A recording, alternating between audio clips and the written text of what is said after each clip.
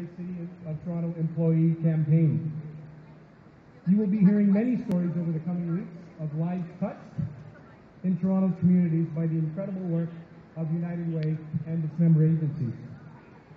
I believe that part of my personal story is that I would not be where I am today if it weren't for community agencies akin to United Way in rural Ontario in the late 60s and 70s, in Durham and then in Niagara, community groups in help to ensure that our struggling large farm family had clothes on our backs and food in our stomachs, and the same applies to Toronto communities under United Way help. Now I'm president of CUPE Local 79, representing inside workers at the City of Toronto, TCHC Bridgepoint Hospital. Community engagement and support for the United Way have become big priorities for Local 79 over the past years. In fact, at Local 79, we wanted to make sure that Labour was represented at the highest levels of the United Way effort to support Toronto's communities. That's why Local 79 was the first Labour organization to sponsor and participate in the United Way CN Tower stair climb last year.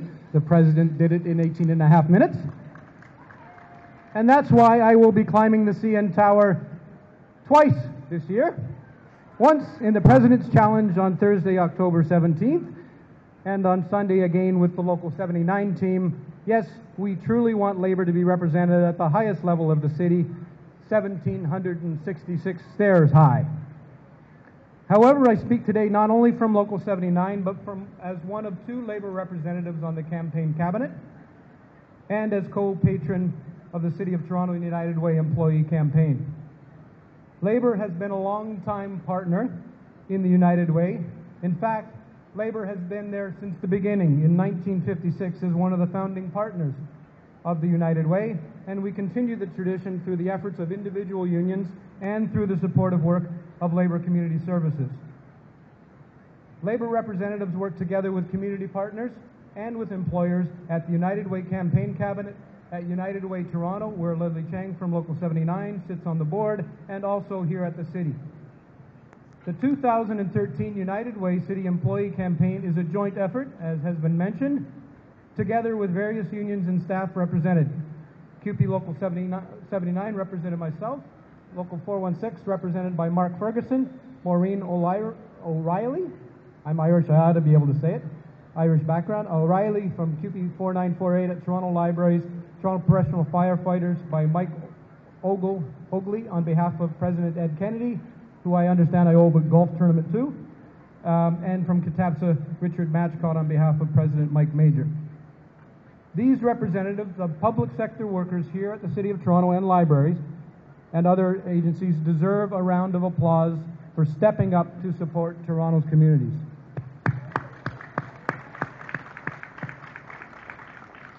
I also want to give a shout out to our management partners in the United Way effort here at the City, principally City Manager Joe Pennachetti,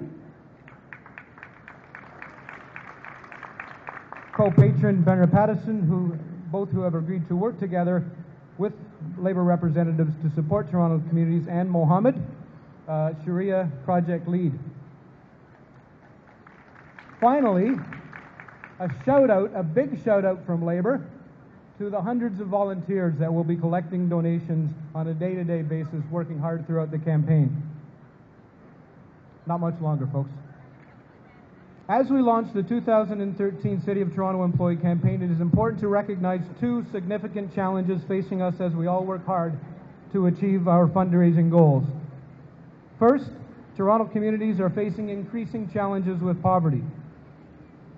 At a recent public forum I attended, former Mayor David Crombie was asked what were the biggest challenges facing Toronto today. Out of the myriad of challenges, transportation, environmental issues, other infrastructure issues, he chose to, to name income inequality as the biggest challenge facing Toronto today. And according to United Way report, quote, the number of high poverty neighborhoods in Toronto has more than quadrupled over the last 30 years, from 30 in 1981 to 136 in 2006, and this trend does not seem to be abating. In order for Toronto to succeed, we need to succeed together. And in order to do that, we need to build healthy and socially sustainable communities. Members of the United Way agencies play a huge role in supporting communities, And in order to support, support United Way agencies, we need, need more donations. This brings me to the second challenge. United Way donations in the public sector from public sector employees are down nearly 10% over the last few years because the public sector and its workers are also facing increasing challenges and resulting low morale. It takes courage for representatives of workers, particularly for representatives of public sector workers, in times of fiscal restraint to look beyond the impact on members and the morale of members in order to benefit communities and our members we, and the communities we serve every day. So again, I think these representatives should be congratulated.